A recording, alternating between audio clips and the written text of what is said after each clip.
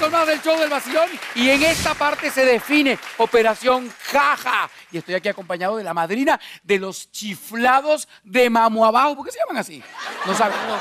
No, sabemos ni lo vamos a averiguar. Y ya debuta en nuestro programa Juan Luis Ramón. ¡Bravo! Eva, buenas noches. Chicos. Mira, vos sabés que, vos sabés que, Winnie Pooh, Winnie Pooh, me dice Winnie Pooh. Chicos, vos sabés que estos días yo estaba buscando trabajo y le digo a mi mujer, mi amor, yo estoy buscando trabajo, yo no sé qué hacer con la vida mía. Papi, pero anda a buscar algo y conseguí trabajo de torero. Y me voy yo para mi faena, ole, ole. Y al otro día llegué a la casa con el traje de luces, todo roto, todo reventado, todo partido, llegué todo acalambrado. Dice, papi, no me digas que te cogió el toro. Nada más eso le faltó al malayo ese. Entonces yo después salí de ahí y, me puse a trabajar de taxista. Y venía yo de taxista así echándole pichón a la cuestión y me paro en un semáforo y estaba en rojo. Y yo veo que pasa una gandola, ¡fum! es molleja, va pasando una gallina en verde y pasa la gandola, pasa la gallina y la pisó. ¡Tutac! Y yo me le quedé mirando y yo, ¡ay, mataron a la gallina! De repente se levanta la gallina.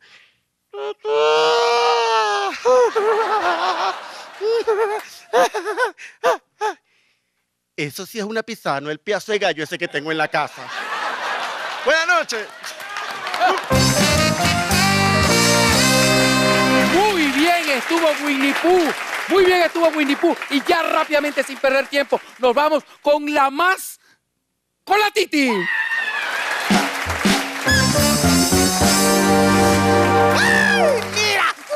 Otro día yo andaba buscando trabajo como loca por todos lados y empecé a trabajar en una construcción por una casualidad. Yo iba caminando por la avenida así sencilla como soy yo. ¡Sa! ¡Sa! ¡Sa! Y de repente, en una construcción, veo que uno de los señores trabajadores me grita, ¡Esa gordita! ¡Ay, tú, albañil horrible! Al día siguiente vuelvo a pasar así como soy yo. ¡Sa! ¡Sa! ¡Sa! Y me grita, ¡Adiós, princesa! ¡Ay, chao, arquitecto! Y empecé a trabajar con ellos. Mira, yo recuerdo, empecé también así, co- como albañil, mezclando, ba- batiendo mezcla, batiendo pega por aquí, pega por allá. Un día recuerdo cuando me ascendieron, el ingeniero me llama y me dice, Titi, pásame la pala. Y yo, ¡guau! Pásame tenaza, ¡guau! Titi, lánzame la anticizalla, ¡guau!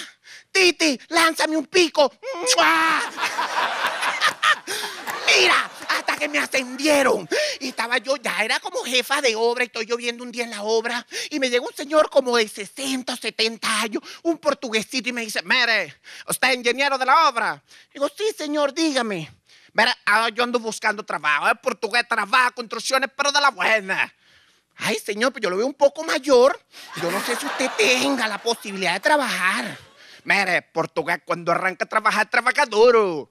Bueno, vamos a hacer una prueba, pues. Agarre esos cuatro sacos de cemento y llévelos a la plata banda. Mire, cómo no. Y el hombre.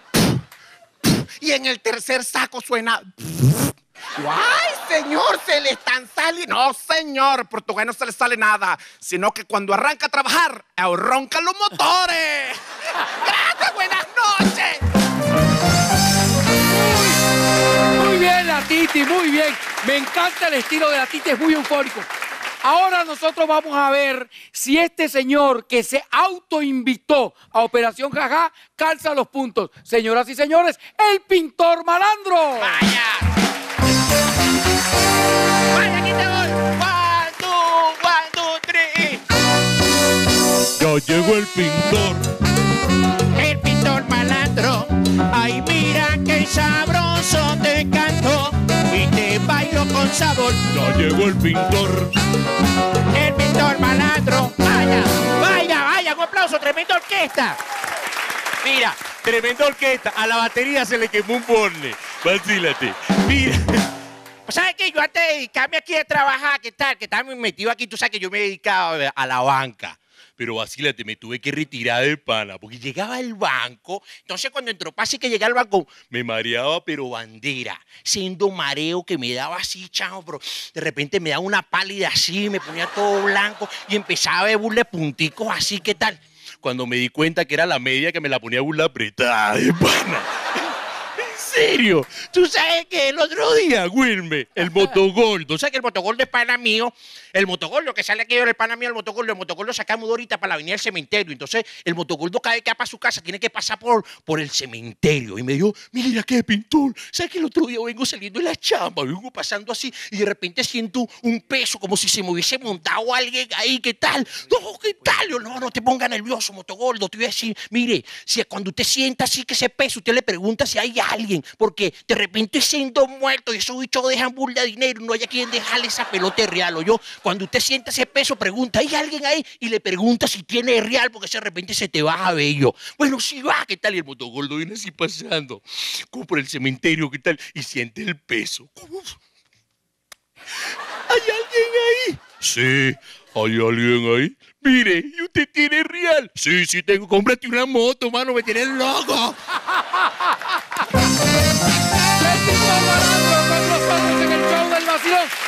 próxima parte usted no se despegue, porque tenemos la música del pollo brito y más humor aquí en el show del vacilón.